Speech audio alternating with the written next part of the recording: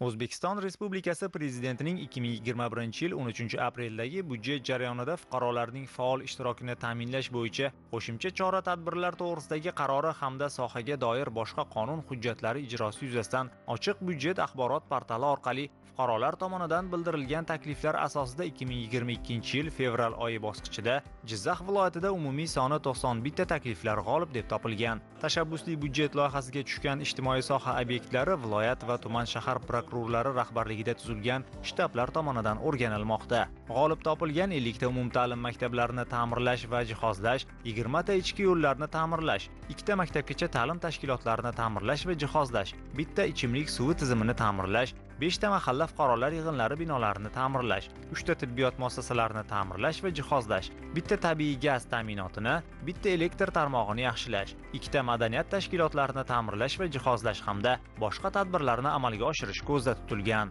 Ushbu tadbirlarni moliyalashtirish va amalga oshirish uchun umumiy qiymati 57,8 milliard so'm yo'naltirilishi rejalashtirilgan. Jumladan g'allaorol tumanida ijtimoiy soha obyektlarini ta'mirlash va jihozlash bo'yicha 4 ta va ichki yo'llarni ta'mirlash bo'yicha yana 4 ta taklif g'olib deb topilgan. G'allaorol tumani madaniyat mahalla fuqarolar yig'ini 2 qangli qishlog'idagi 56 umumiy o'rta ta'lim maktabida kutubxona yo'qligi sababli o'quvchilar maktab sport zalining kiyim almashtirish xonasidan vaqtinchalik kutubxona sifatida foydalanib kelishmoqda. Tashabbusli byudjet maktab ma'muriyatining ushbu muammosi hal bo'lishiga zamin yaratdi. Ya'ni loyiha doirasida maktabda kutubxona qurish uchun 950 million so'm ajratiladigan bo'ldi. 56 umumiy o'rta ta'lim maktabida bugungi kunda 44 ta pedagoglar ta'lim tarbiya berib kelmoqda. Maktabimizda 449 nafar o'quvchi bor. Bugungi kunda maktabimizda o'sha yillar davomida bartaraf etilmayotgan muammosi bor. Kutubxona muammosi. O'quvchilarni bo'sh vaqtlarini mazmunli o'tkazish darsdan keyingi vaqtlarda ishlash uchun e, kutubxona yo'q edi. Biz e, muhtaram prezidentimizning 2021 yili 13 apreldagi 50 72 sonli qaroriga asosan e, open budget tashabbus loyihasida ishtirok etdik. 2022 yili fevral oyida. Va mart oyida 28 kunlik ovoz berish jarayonida tumanda 253 ta loyihani ichida e, birinchi o'rinni egalladik. Nasib etsa 2022 yil sentyabr oyida kutubxonamiz bunyod etiladi. O'shanda ikkinchi qangli aholisi maktabimiz o'quvchilari o'qituvchilari nafaqat tumanimizdagi barcha aholisi ham e, kutubxonadan kelib bemalol foydalanishlari mumkin.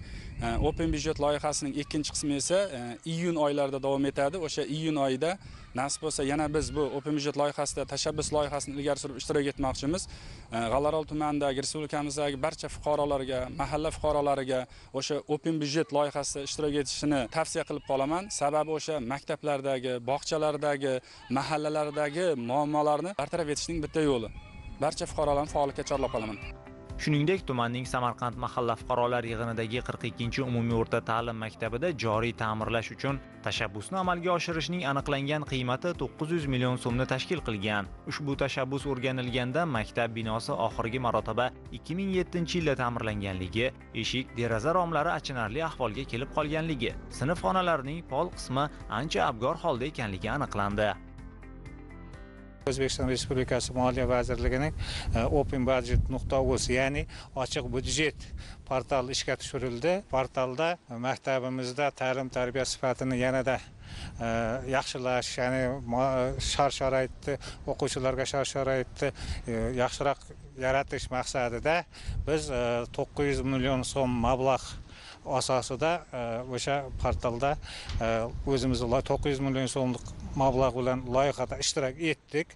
E, birinchi aprel sanasigacha ovoz berish jarayonida e, ota onalarimiz hamkorligida mahalla fuqarolar yig'ini hamkorligida ovoz to'plab e, o'sha to'qqiz yuz million so'mlik mablag' evaziga g'oliblikni qo'lga kiritdik. Hozirgi kunda tuman xalq ta'limi bo'limi moliya bo'limi xodimlari o'sha ajratilgan mablag'ni loyihalashtirish ishlarini amalga oshiryapti biz e, maktabimiz jamoasi qolaversa ota onalar nomida muhtaram prezidentimizga e, shunday e, yaratilgan shart sharoitlar uchun katta minnatdorchiliklar bildiramiz. Albatta o'ylaymizki bundan keyin ham o'quvchilarimizni sifatli ta'lim tarbiya olishdagi ijobiy natijasini beradi degan umiddaman. G'allaorol tumanida loyiha doirasida ichki yo'llarni ta'mirlash bo'yicha ham g'oliblar aniqlangan. Jumladan guliston qishloq fuqarolar yig'ini gadoy qishlog'i tashabbusni amalga oshirishning aniqlangan qiymati 990 million so'm. Madaniyat qishloq fuqarolar yig'ini nurobod qishlog'iga 900 million so'm. Madaniyat qishloq fuqarolar yig'ini tutli qishlog'iga 1 milliard 10 million so'm. Mirzabuloq qishloq fuqarolar yig'ini nayman qishlog'ida 750 million so'mni tashkil qiladi.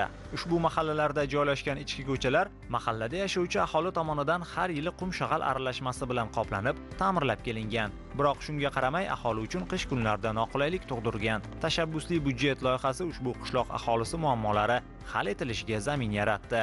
Jizzax shahridagi 14 umumiy o'rta ta'lim maktabi 1969 yilda qurilgan bo'lib 1036 o'ringa mo'ljallangan. Hozirgi kunda 950 nafar o'quvchilarga 86 nafar o'qituvchilar ta'lim tarbiya berib kelmoqda. Maktab binosi 2014 yil ta'mirlangan ammo texnologiya xonalari eskirib ketgan bo'lib hozirgi kunda achinarli holatga kelib qolgan.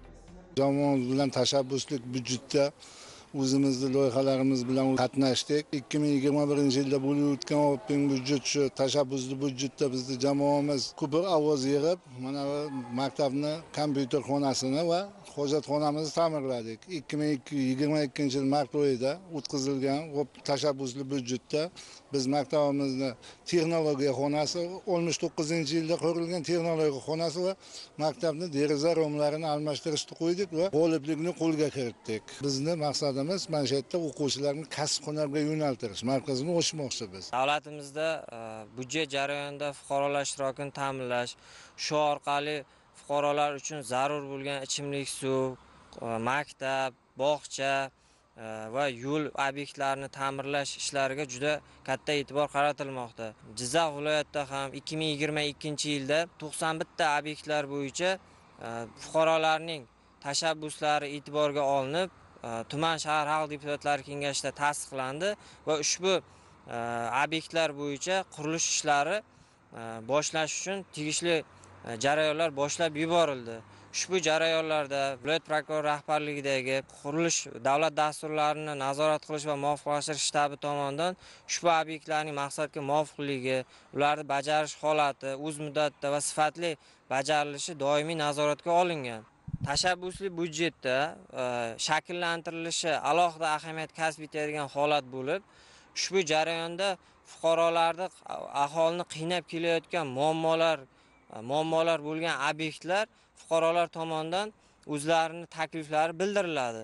Misol uchun biron bir hududda eng kerakli bo'lgan yo'l ichimlik suvi maktab bo'yicha fuqarolar o'zlarining muammolarini taklif sifatida kiritishadi va shu orqali tashabbusli byudjetga kiritiladigan obyektlar ro'yxati shakllantiriladi. Ya'ni bunda fuqaroni to'g'ridan to'g'ri ishtiroki ta'minlanib asosiy kerak bo'ladigan va jamoatchilik fikri asosida shakllanadigan obyektlar e, ushbu dasturga tushirilib qurilish ta'mirlash ishlari olib boriladi. Davlatimiz rahbarining byudjet jarayonlarida fuqarolarning faol ishtirokini ta'minlash bo'yicha qo'shimcha chora tadbirlar to'g'risidagi qarori qabul qilingandan so'ng qaror ijrosini ta'minlash maqsadida o'zbekiston respublikasi moliya vazirligi tomonidan open budjet nuqta uz ochiq budjet portali ishga tushirildi. Natijada jizzax viloyatida ko'plab maktablar ta'mirtalab yo'llar ichimlik suvi tizimlari yangilandi. Bu albatta yoshlarning sifatli ta'lim tarbiya olishi aholini qiynab kelayotgan muammolarning bartaraf etilishi bilan ahamiyatlidir.